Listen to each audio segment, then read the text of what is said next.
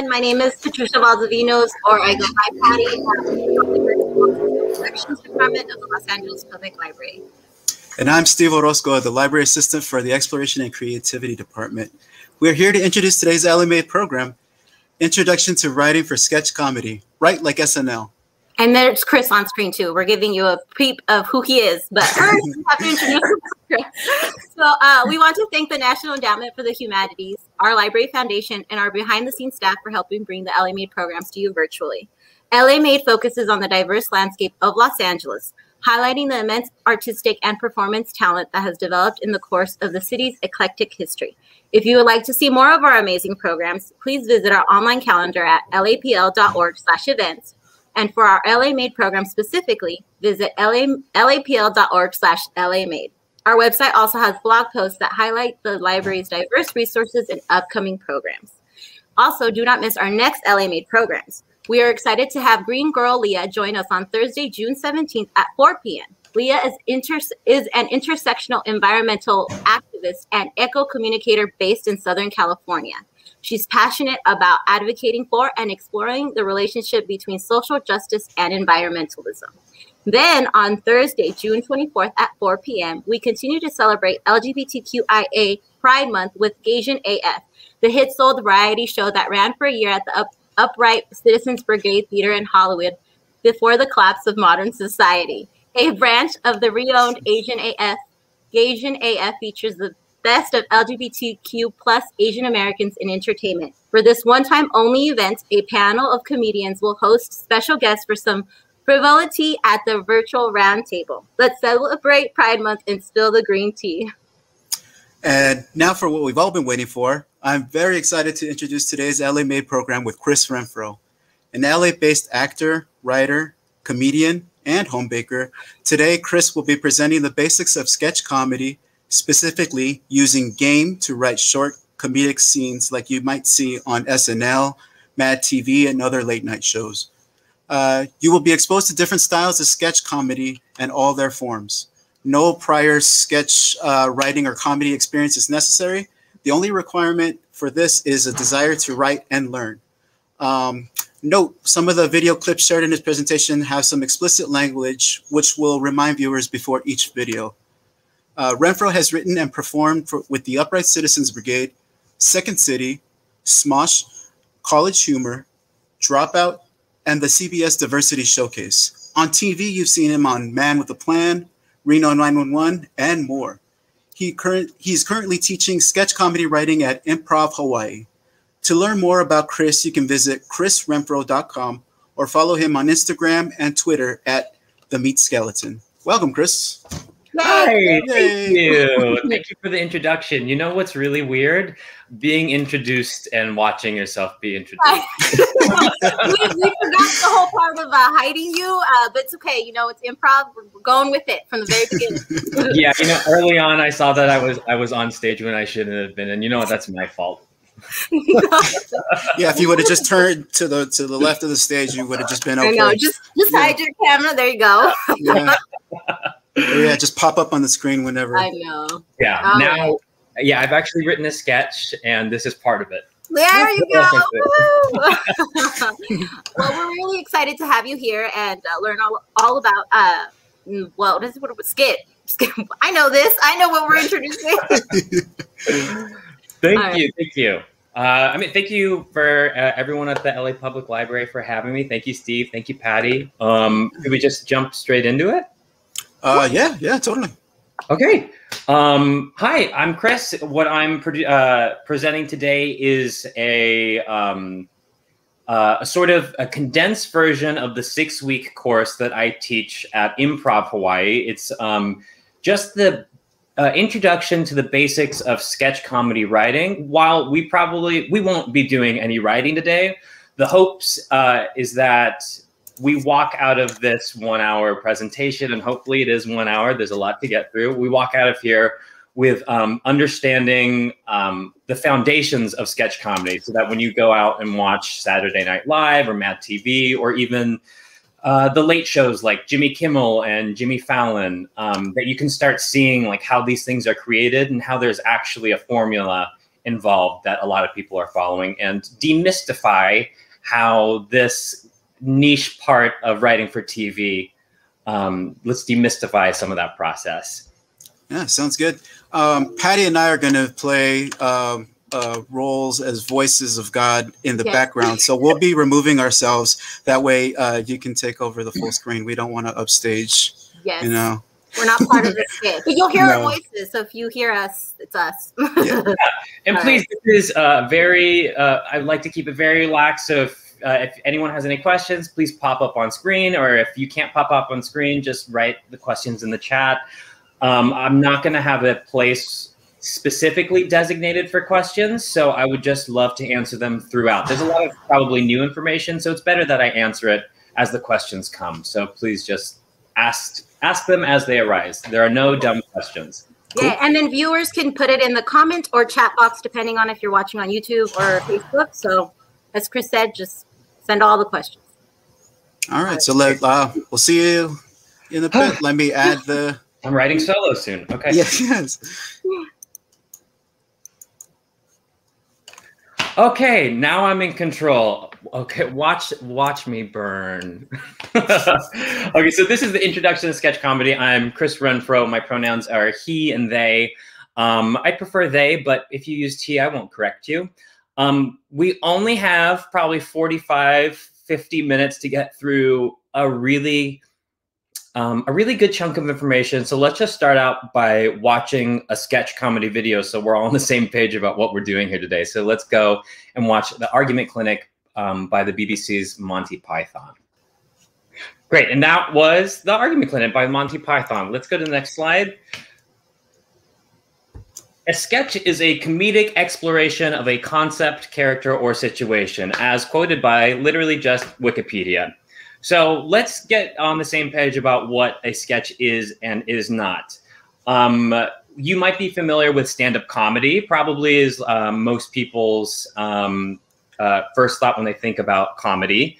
Um, sketch is, is not stand-up. Stand-up is one person I one person's idea, kind of riffing with an audience, whereas a sketch is a pre-written, um, rehearsed uh, uh, form almost akin to a stage show that can or cannot be filmed. It's not usually improvised, though improv can be a way into discovering a sketch and be in the process of writing a sketch. Um, improv is completely made up on the spot and lives only in that moment. And what sketch definitely is not, can we go to the next slide?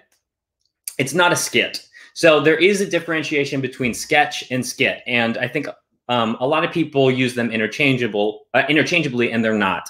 So a skit is something that you might see in uh, like a high school English class. We probably all did this, uh, where uh, a teacher might assign you uh, to to like pretend to be Romeo and Juliet uh, in modern times, and you have ten minutes to do it, and kind of your only job is to make the class um, not fall asleep or something. Or it's something that an ASB might do to get you excited for Spirit Week, right? But it's usually not written down. It's not super rehearsed. Um, it usually only explores one uh, one comedic idea, if that. I know a lot of my skits in high school were not funny.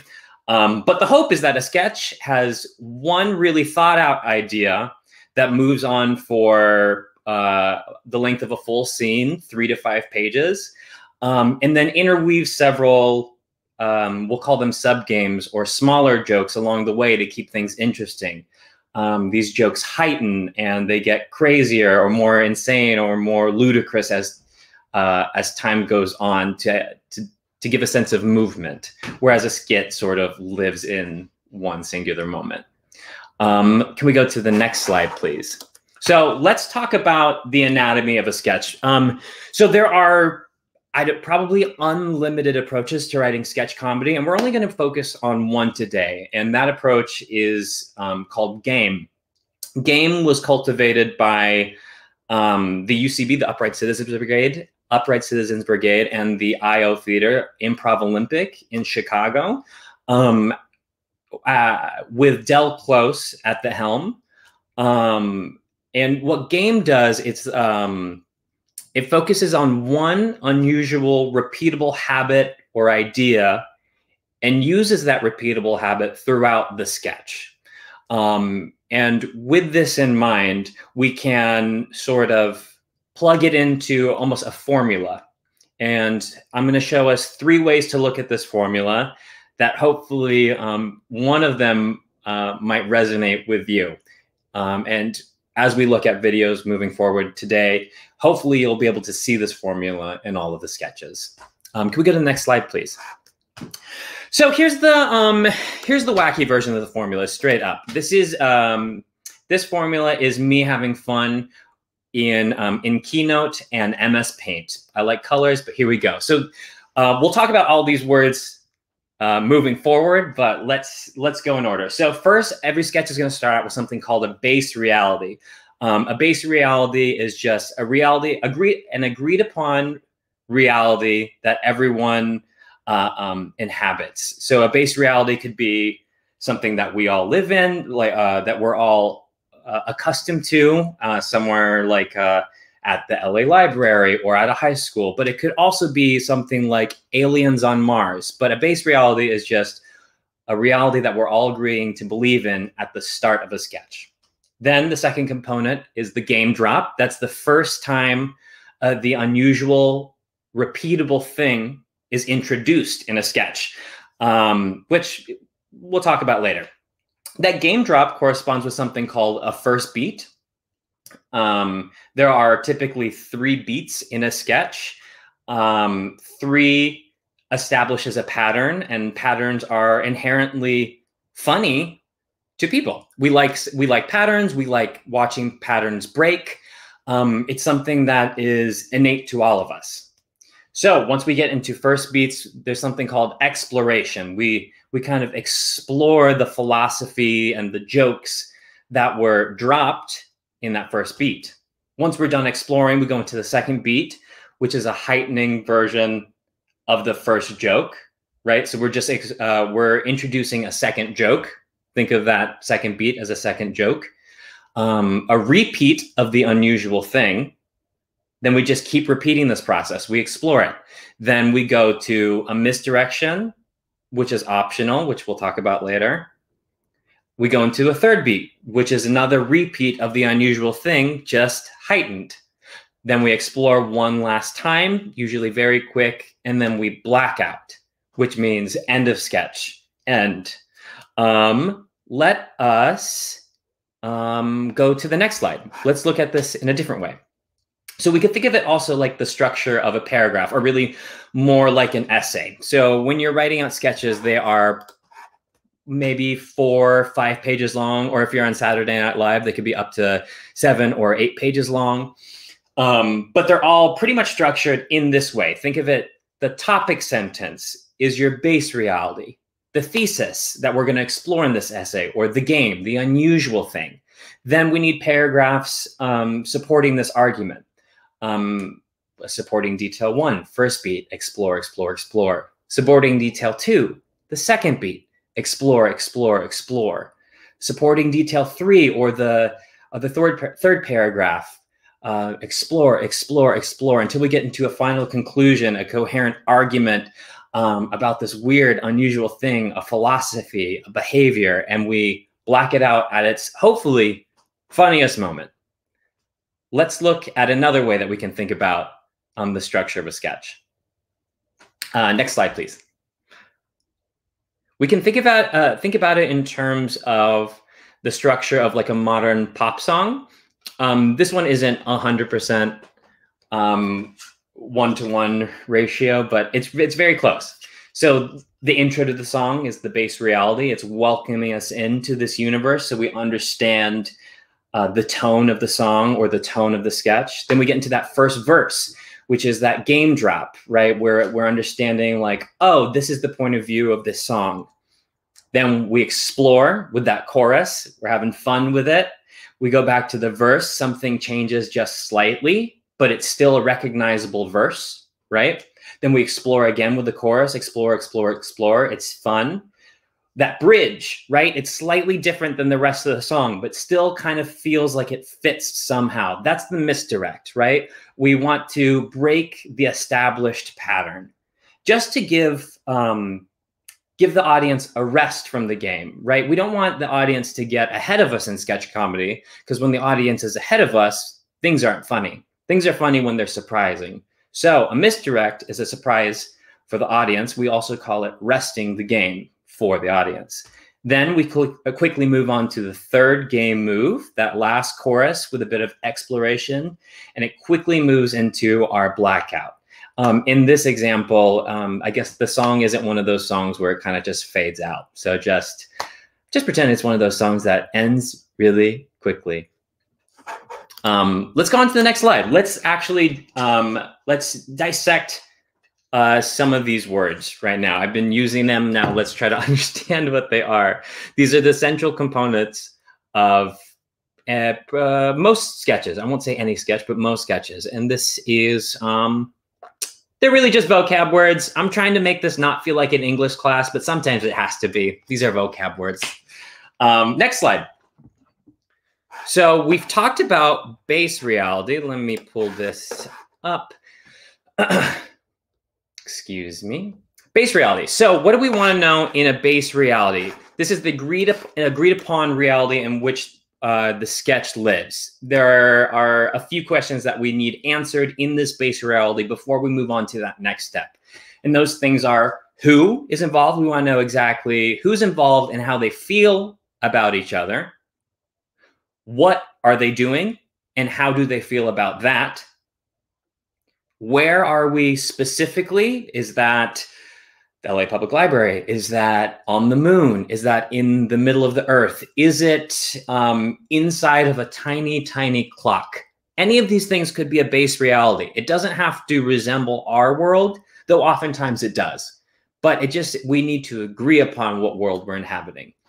Um, oh, and something I didn't um, add on this slide, we need to know why we're here. Why are we watching the action of this sketch right now? this is either for sketch comedy, this is either the very first time something is happening. So we're watching everyone watch a behavior or experience something weird for the very first time, or this is like the thousandth time this weird behavior is happening. And we're going to watch people just become completely tired of it. Right. So it's usually one or the other. Either people are discovering this weird habit for the very first time, and the sketch is about watching them uh, unpack everything, or uh, it's about that like really annoying person at work that uh, chews way too loudly, and you're fed up with it, and it's time to uh, it, it, it's time to really hash it out, right? Um, these are all the agreed upon things that we need in the base reality, and usually we find out all of this in the first five lines of a sketch um, if we're watching Saturday Night Live, we'll find this all out in the first 15 seconds. So when you're watching, um, when you're watching sketches today, we'll have I have probably five or six more sketches. Um, I want you to keep an eye out for who's involved, what's uh, what are they doing, where are they, um, how do they feel about all of that, and why are we watching this? Is this the first time or the thousandth time? Excuse me. Next slide. So the game, what we're focusing on here. The game is the unusual and repeatable thing about a scene. And that is only in reference to the base reality. So we can't discover a game or the funny thing about a scene if we can't agree about what the base reality or the agreed upon terms are, right? So once we have the agreed upon terms, base reality, the game is going to um, show itself in the form of something called a game drop, which is uh, when the first unusual thing happens. It it shows itself in the change of tempo.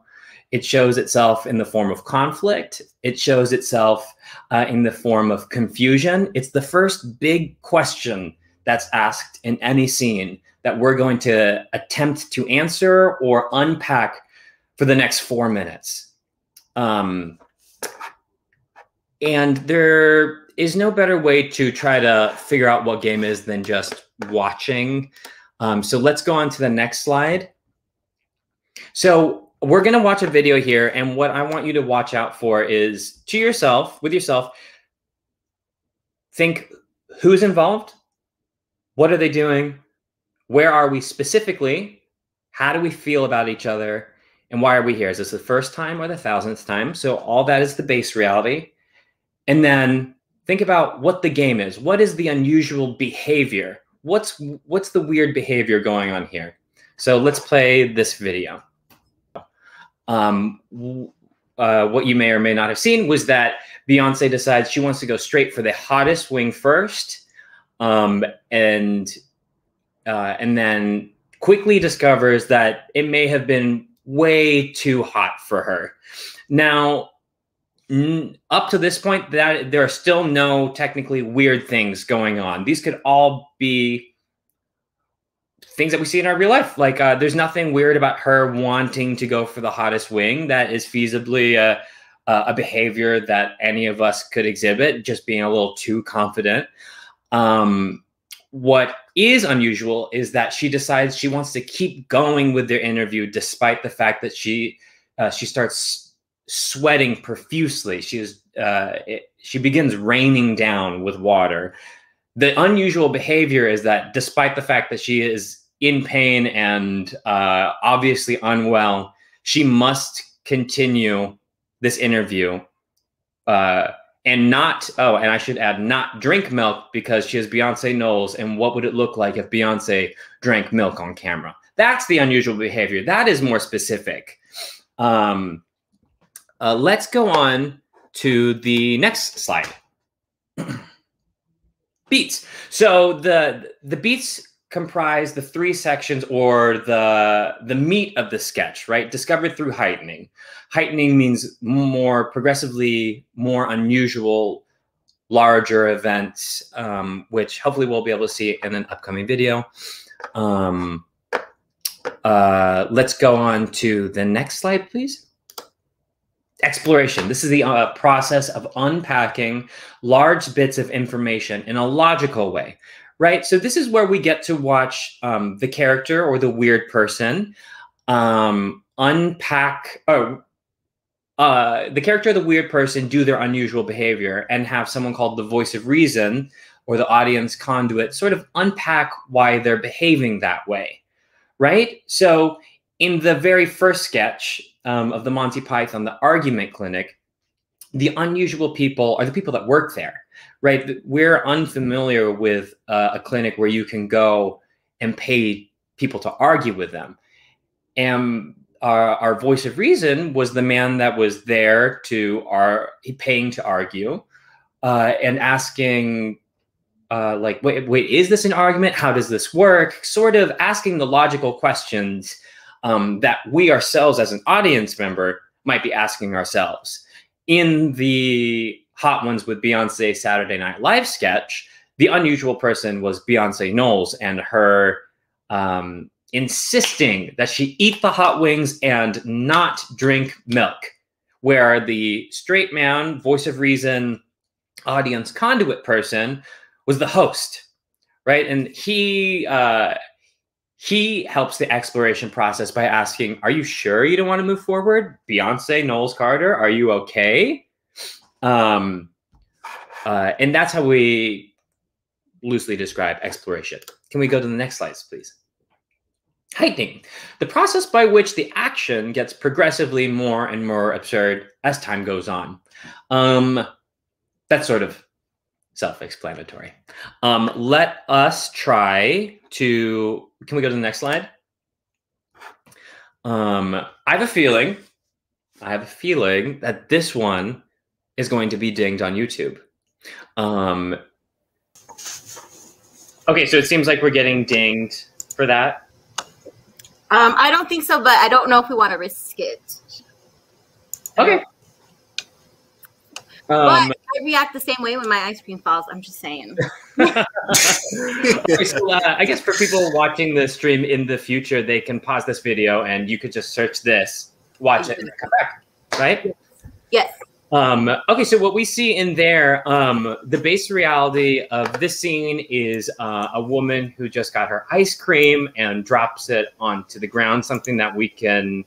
Uh, oh, yeah, Patty's saying that you could also link it in the chat. Yeah, that would be great, Patty. Thank you. Um, link to these videos in the chat. Um, yeah, so the base reality is uh, who's involved. Um, a, a, woman who just bought the ice cream. What is she doing? She's about to have her ice cream, but she just dropped it on the ground. Where is she? Presumably in the park. Um, and uh, why are we watching this? Uh, this is the first time we're seeing this woman go through this, presumably because the sketch goes on, and we see her. Um, we see the ice cream being taken away in an ambulance, as if she just watched a loved one pass away. Um, which is why the song "How to Save a Life" is playing along. Uh, it's showing the absurdity of the feeling of losing an ice cream cone. It goes on to her finding true love um, but still thinking about that ice cream cone. She moves on to have a child, and that child goes off to college, but she's still thinking about that ice cream cone um, uh, until the very end, where she passes away. Uh, and she's still thinking about that ice cream cone. And she finally is reunited with the love of her life in ice cream cone in heaven. And they do a little interpretive dance, sort of jazz Broadway thing until um, the ice cream cone embodied in a human form drops uh, a, a, glass of champagne and the cycle continues as the angel ice cream cone mourns for the fallen champagne and how to save a life starts again and this infinite loop of uh, of mourning begins um, the the repeatable thing is just like how absurd can we treat um, the loss of uh, an inanimate object, right? Um, can we go on to the next slide? Uh, an important component, the one of the most important components in writing a sketch is philosophy, which is a character set of beliefs, which almost always goes incongruous to the base reality. Sometimes there are some sketches where everyone is sort of wild and fantastical, and we just, um, as an audience, um, uh, maintain our own views about the world and just understand that we're just watching um, silly people be silly. But a lot of the times, we have a, a grounded set of individuals and one person who has an illogical sense uh, uh, set of beliefs that we're going to watch them try to justify um, can we go on to the next slide, please? Which leads us to justification, how a character explains their behavior, usually through the philosophy and history. Um, if you've taken improv, um, you probably know that they don't usually like to uh, involve the word history. They usually um, keep it to philosophy. But in sketch, having history can be fun. We can talk about um, like an old uh, Sultan seafarer on the docks talking about 20 years ago, uh, I lost an ice cream cone in uh, in a park and I haven't stopped thinking about her since. I don't know what accent that was. Um, but history can be fun in sketch. Um, can we go on to the next slide? I don't know if this is going to work. Do I think there's music? No. But should we try it? who who uh who runs this? Which what's the platform that this one? It's Netflix. Is it Netflix? This I think you should Netflix. Yes. Uh, there is no music. I, uh, we'll get dinged. Yeah, it will probably get dinged. Is there any way you could describe it? and We'll put it in the in the in the chat so people can watch it. Yeah, totally. From now on, we'll just uh, we'll just uh, talk about it in terms of um, people pausing the video, watching it, and then coming back to it. yes. um, so when you're watching this video, I want you to look out for um, philosophy and justification um, um of the main character. The main character be being the man, Will Forte. So we will pause here and come back momentarily.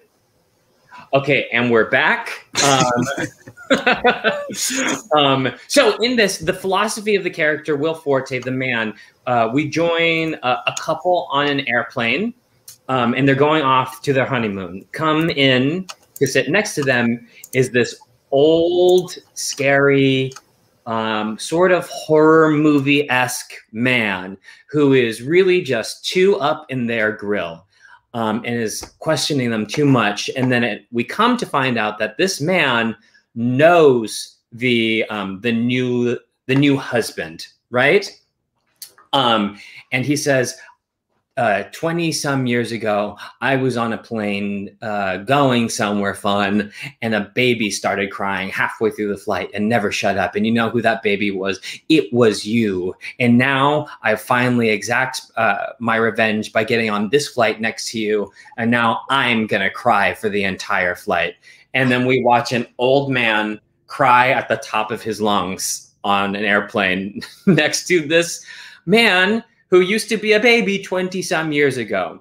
So the philosophy here is you ruined my life or you ruined my flight. I'm going to ruin your flight, even if that takes me 20 something years. The justification for that is that that flight ruined his vacation so much that it destroyed the trajectory uh, of the happiness of his life right? And so together with philosophy, uh, this illogical philosophy and justification, we can come to this sketch where this man was so scorned, he had to dig in the trash, find uh, airline tickets to know exactly what seat this man, who used to be a baby, um, was going to be sat in so he could get the seat right next to him so he could cry on his flight to his honeymoon. Um, let's go to the next slide, please.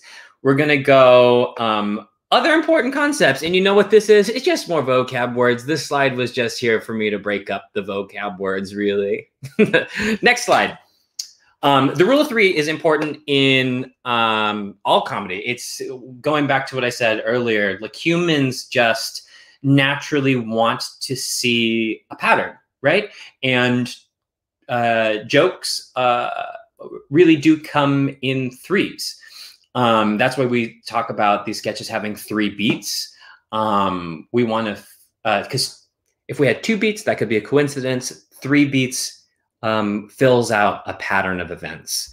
Um, there's also something called the rule of 36, um, also called the rule of 49 or 62. It's a really arbitrary number, but it's the thought that um, things are really funny at three beats, even at four beats, and then there's a diminishing return for the subsequent 10 beats. If you kept, uh, if I kept saying the joke of, um, um, or that orange you glad, I didn't say banana, that joke that we probably all know, it was probably fun the very first time we heard it in third grade, right? And then the next time we heard it, not so funny. Next time we heard it, even less funny, even less funny, even till now, even less funny. But if I kept at it and just for the next 10 minutes kept telling that one joke, eventually we would all laugh. It wouldn't be because we were surprised. Um, we would be laughing at the absurdity of the commitment now. And that's the rule of 36. Whereas the rule of three uh, is um, uh, the element of surprise. The rule of 36 is the element of commitment. Um, uh, oh, can we see that comedy sketches are more difficult to come up with than it looks? Yeah, uh, there's a lot to it. There are a lot more components. Um, it is a lot of work to come up with something so silly. um, uh, um, can we go to the next slide, please? Uh, well, we already talked about pattern. Um, we have pattern in sketch comedy so that we can establish and break expectation. Can we go to the next slide, please? A tool, an important tool that we use as comedians, improvisers, and sketch writers um, is the thought process of if, then. Uh, and by that, I mean, if this thing is true, then what else is true? So um, let's think about the example of how to save a life, the woman who lost her ice cream cone. Um, if I'm treating the loss of my ice cream cone like the loss of a loved one, then that means I will probably mourn them for the rest of my life. Uh, uh, what are other examples? Oh, the argument clinic. If there is a room where I can go to argue with someone, then there must be a room where someone inflicts pain on me. Which, uh, if you, there are versions of that sketch where that room exists. Um, what other sketches? I want to make sure.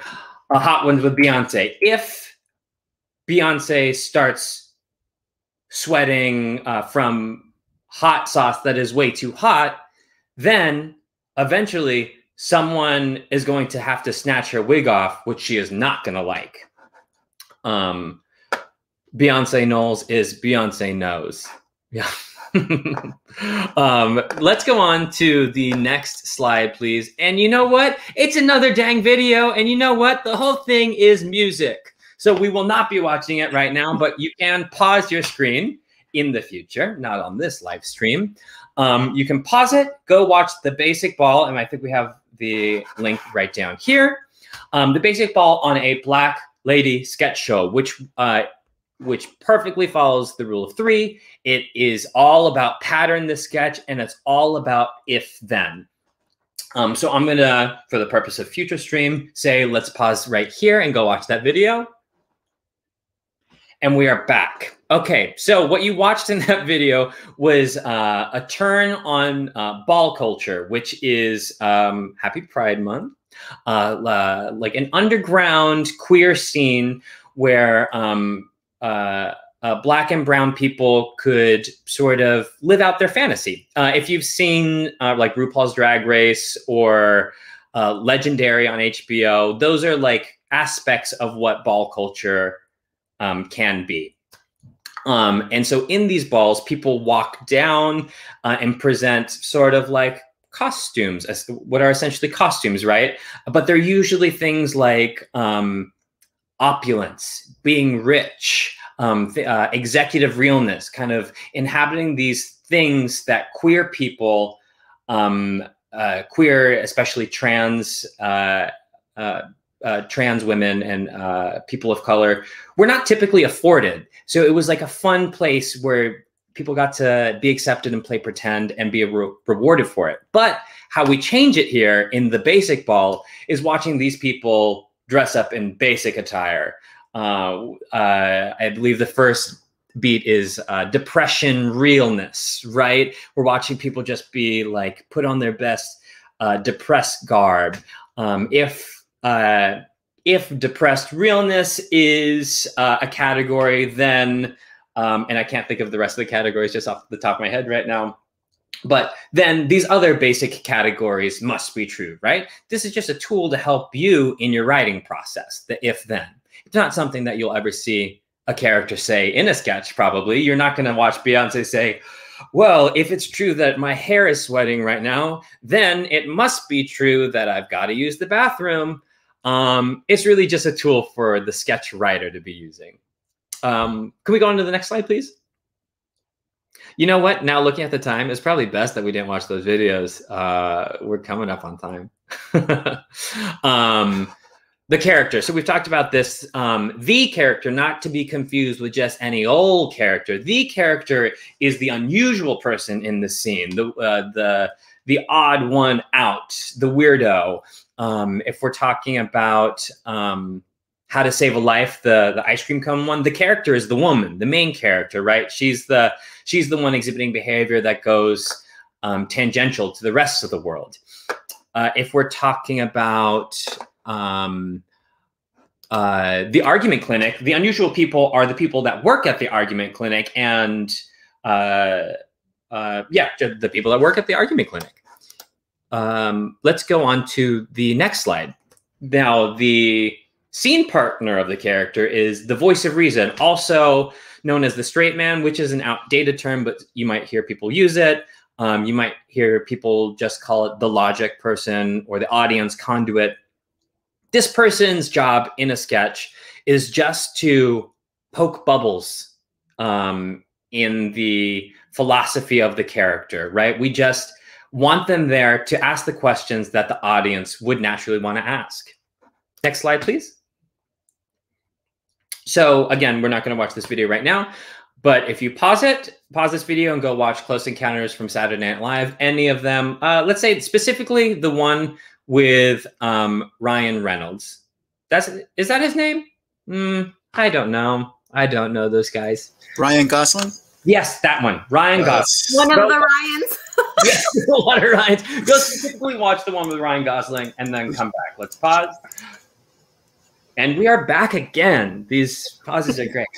Um, so in this one, the character is Kate McKinnon. She's sitting there in the back of her seat, smoking a cigarette, um, talking about. There are three people talking about uh, their um, their experience getting lifted up into the sky by aliens. Ryan Gosling and Cecily Strong say they had a beautiful, eye-opening, godly experience, whereas Kate McKinnon said, "Oh, that's not that's not what I experienced. I had a weird old time.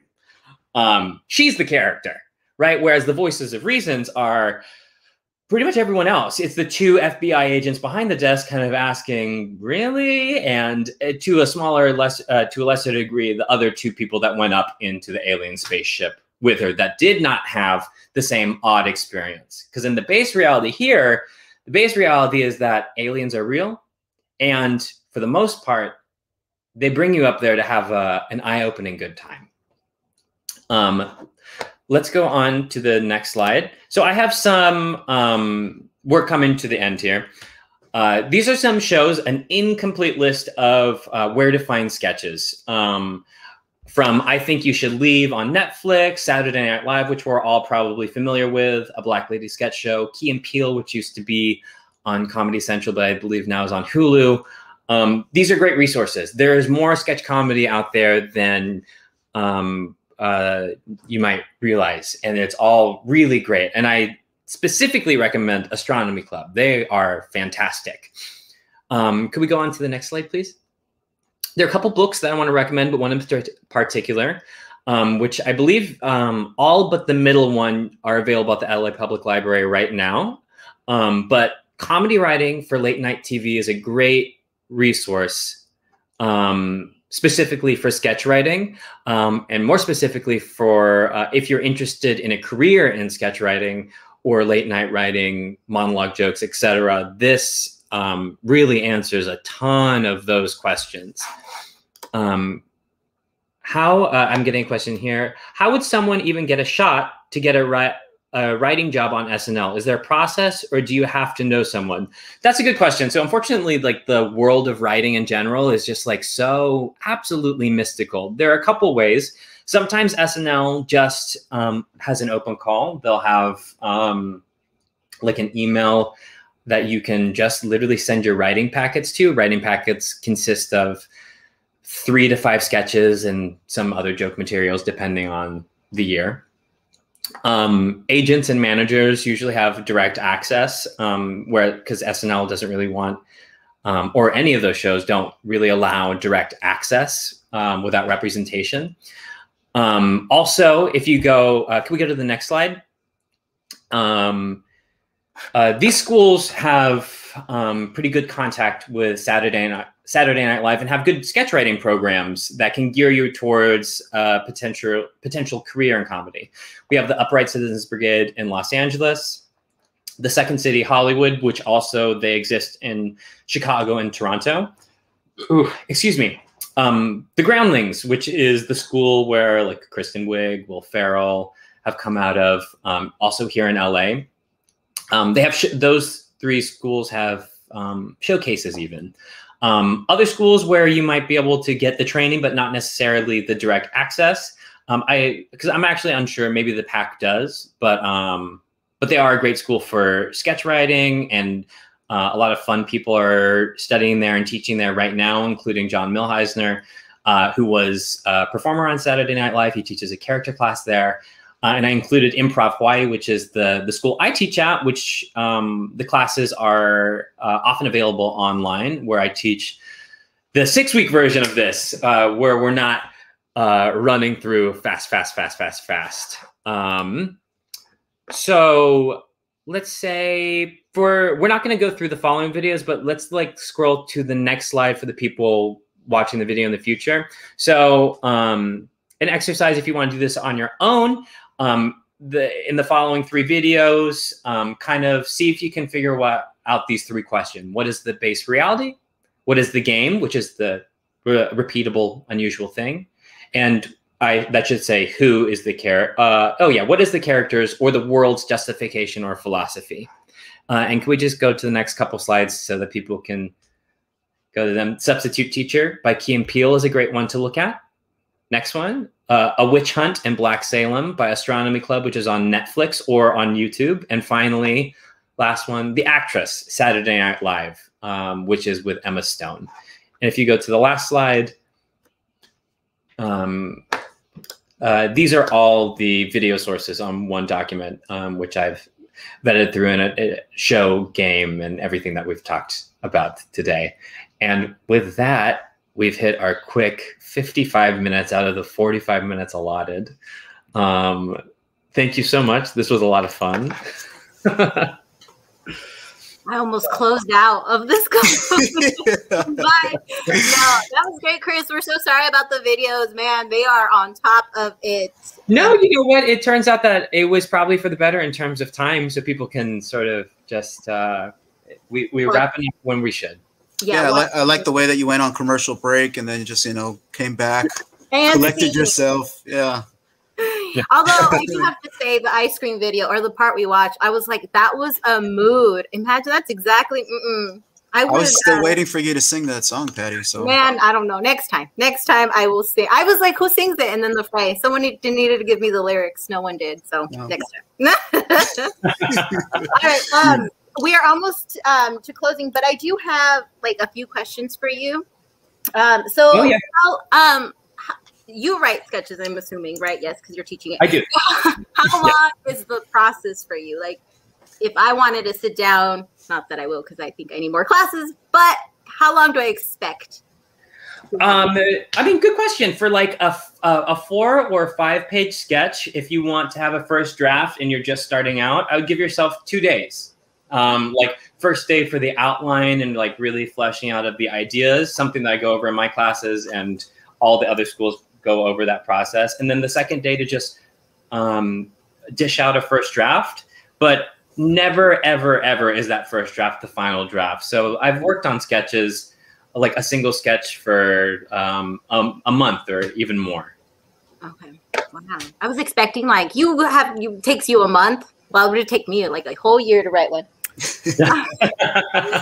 Um, Steve, do you have a question or? Yeah. Uh, no. Like, uh, uh, like, you have any uh, parting advice uh, for somebody just starting out? Um, you know, gets you know like a real quick you know little thing that you can tell people. You know, um, yeah, on, say, you know some advice on writing your first sketch. Yeah, I would say um, if uh, one get in the class if you can. Um, I, I barely barely touch the surface of what sketch writing is and can be. Um, but if you can't get into class right now, uh, I'd say just watch a lot of sketches and sort of backwards. Um, uh, what is that? Just sort of like figure out how the structure is built.